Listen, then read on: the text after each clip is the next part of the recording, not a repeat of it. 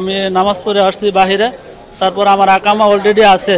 বৈধ লোক আমি কোম্পানিতে চাকরি করি, আমি ক্লিনিক বিষা গেছি তারপর আমাকে হঠাৎ করে সিআইডি আইসা, কথা না বার্তা না আকামা দেখা না, তারপর গাড়ি মেজে ঢুকাইয়া কেস দিয়ে দিছে, আমি নাকি সবজি বেছি অথচ আমি নামাজ পড়ে বাইরেছি তো এম্বাসি তো আসতে বলে যে আপনাকে কিছু কেস দিয়ে দিছে, এখন কিছু করার নেই।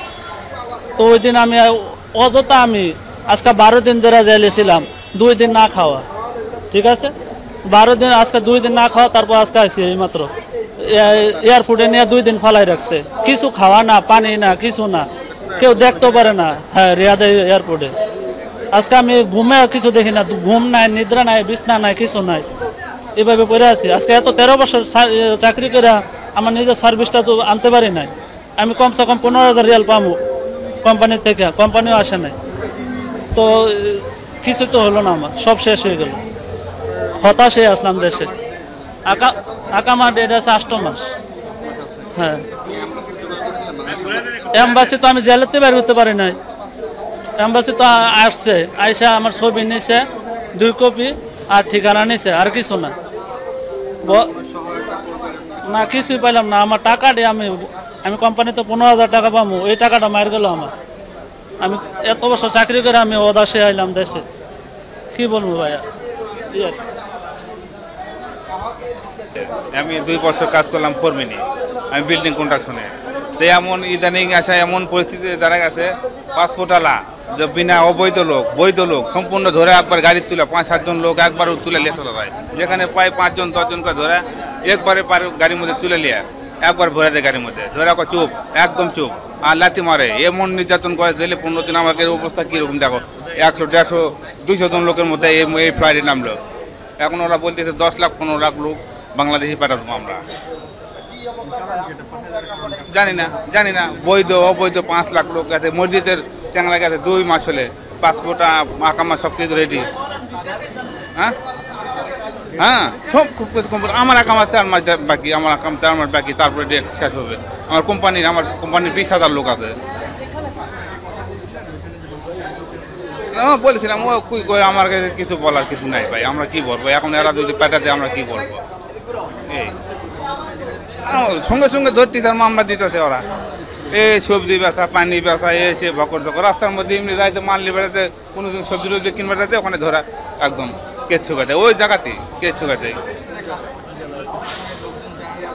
হ্যাঁ জানে ওরা বড় বড় কোম্পানিরা যায় না তো, লোকজন ধরলে ওরা তো ওরা তো সইছি না, ওরা যায় না, ওরা কোনোদিন কারও কাছে ছোট হতে যায় না, এই।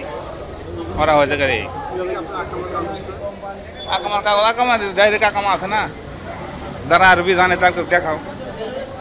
আমার ডাইরেক্ট সব কিছু আছে না আকামা টাকা এই দেখ আমার চার মাস বাকি এখনও। এটা কোম্পানি বানা দেয় আকামা রেনিউ করে দেয়, কোম্পানি নিজে। বড় বড় কোম্পানি যায় না, লোকজন সারা পারে ওরা সৌদি না, ওরা সৌদি সৌদি। এই হলো ব্যাপার তার যে এটা আমার জামা পাঁচ লাখ বিশ হাজার টাকা নিয়েছে। যে আগামা দিনে না দিয়ে আমি মরুভূমিতে ঘুরে ঘুরে বেড়াই বেড়াই আমি না না খেয়ে কষ্ট করে আর পুলিশে আমার ধরে ফেলে দিয়েছে। না দেওয়ার পরে আমি এখন এই দেশে চলে আসি। এই দেখেন আমার অবস্থা এই পরিস্থিতি। কতদিন জেলে ছিলেন? আমি আট দিন ছিলাম। তারপর সেখান থেকে কীভাবে এখানে আসলেন? এখন আমাদের বাংলাদেশে প্রবাসীরা আমার দিয়ে পাঠালে কেন? ওখানে অ্যাম্বাসিতে লোক আছে ওখানে আমার পাঠাই দিলে। আপনার দেশের বাড়ি কোথায়? নাম বলবেন জিনেদা। আমার নাম আব্দুল আজিজ। এইবার হচ্ছে কতদিন আগে গিয়েছিলেন এবং কত টাকা দিয়েছিলেন? এটা আরেকবার বলুন। আমি পাঁচ লাখ বিশ হাজার টাকা দিয়েছি। দেওয়ার পর আমার আঁকা মা দিইনি আমি দুই মাস চার মাস দুই বছর চার মাস কাজ করে বেড়াইছি। এমনি এমনি মরুভূমিতে বকরি চড়াই এখন আপডেটে ঠিক মতো বেতন পাই না না খেয়ে না দে। আর যে কোনো কায়দায় পুলিশে আমার ধরে ফেলে দিয়েছে। দেওয়ার পর আমি এখন যে কোনো কায়দায় আমার আছে যে এখান থেকে প্রবাসী কোনো আছে তো আমার পাঠাই দিয়েছে।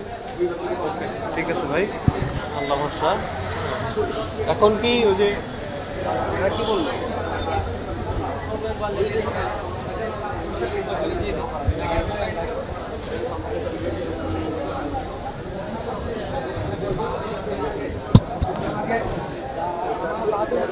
বাইরে কাজ করি ব্যবসা করি। এটা টাকা দিছিলাম দশ হাজার টাকা রিয়েল। টাকা দেওয়ার পরে বলতেছে আকামা করতে নেই কী করবি? কী করতে পারি? তাই আমি তার বিরুদ্ধে লেবার কোর্টে কেস করছি। লেবার কোর্টে ওইখানে লেবার কোর্টে দুই বছর পরে আমার রায় দিছে। রায় দেওয়ার পরে আমি হাইকোর্টে কেস করছি। হাইকোর্টে সব কিছু কমপ্লিট আমার পক্ষে রায় না হাইকোর্টে বলতেছে, তুই এখন থানা যা, থানা যাই রেডি কর। থানা যাই কেস করলে জানবে এটার পরেও আমারে ধরে নির্যাতন করে দেশে পাঠাই দিচ্ছে এটা এই দেশের পুলিশে। আর বাংলাদেশ অ্যাম্বাসাডার বলছি, ভাই, এই অবস্থা আমার গাড়ি গুড়ি বাইরে আছে। একালতে আসছেন, বসে থাকেন। কথা বেশি বলবেন না। বাংলাদেশ অ্যাম্বাসাডার এত খারাপ কাজ করতেছে এত খারাপ ব্যবহার করতেছে। যদি কি আমাকে ফাস্টফুডগুলো ওই জায়গা আছে ফাস্টফুডগুলো আনবেন তাও করবে না কিছু করবে না বাস। আরও গাইলিয়া গাইলি করবে। থার্ড উঠে যাও আর ওই জায়গার পুলিশ তো লাত্তি মারে ছোবড়া মারে কথায় কথায় জি।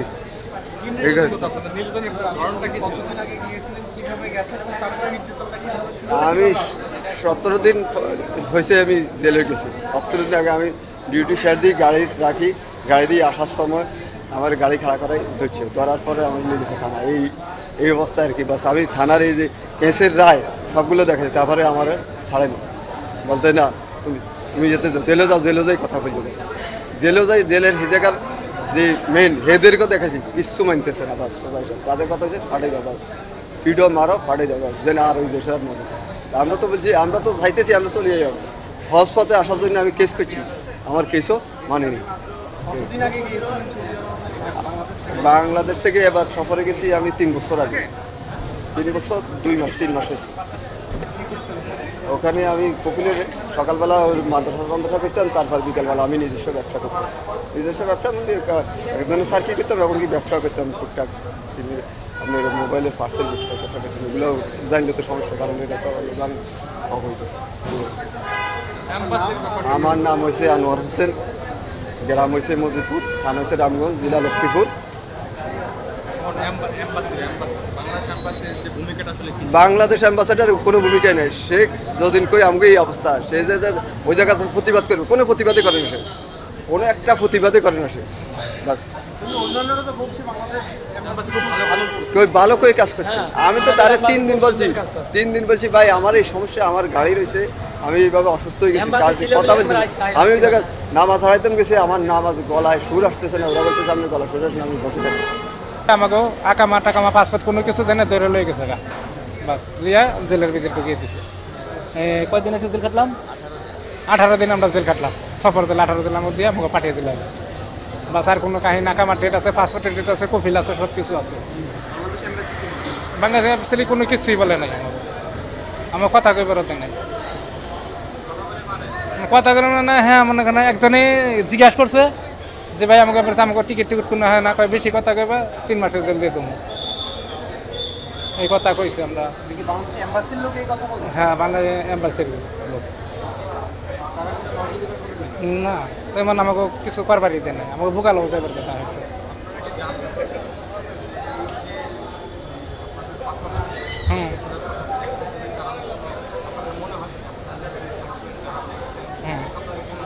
আমরা মনে হচ্ছে যে, মনে করো সফর জেলে নেয় থানায় নিলে সাইরা দেয়।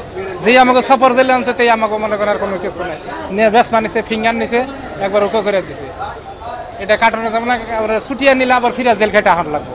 এর জন্য আমরা আর কপিলেও কিছু করে না। আর ঢুকতে পারলাম না আমরা হ্যাঁ। এটা আমার কেস। না, আমাকে ভিক্ষার কেস দেয়, পানির কেস দেয়, আমাকে কেস দিছে এলো সবজি বেচা দোকানের। এটুকাই মাছ মানে বিকেটে না সবজি আমরা আমার দোকান আছে এই দোকানে সবজি বেচতাম বাস এই আর কোনো কিছু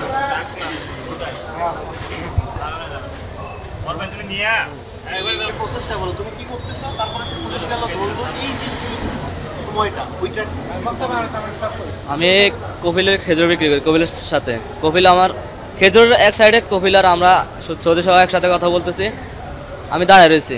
পিছন দিয়ে মুক্ত আমেল আসছে, পুলিশ আসছে, বলদি আসছে।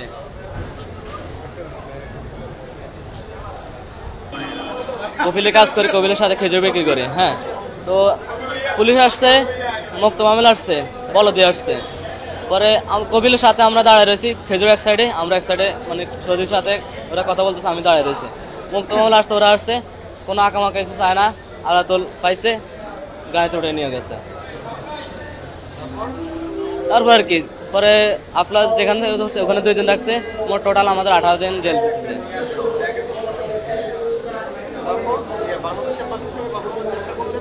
চেষ্টা ওনার সাথে কথা বলা তেমন ইয়ে করা যায় না, তার মেয়াদে অন্যরকম, গরম, বুঝছেন? সেই পাঁচ মিনিট তাকে কথা বলার কোনো সুযোগ পাওয়া যায় না, জায়গা, বুঝছেন? কি পরিস্থিতি? যে আমার মোহাম্মদ আরিফুল ইসলাম। গ্রাম লক্ষ্মীদেপাড়া থানা রামগঞ্জ জেলা লক্ষ্মীপুর।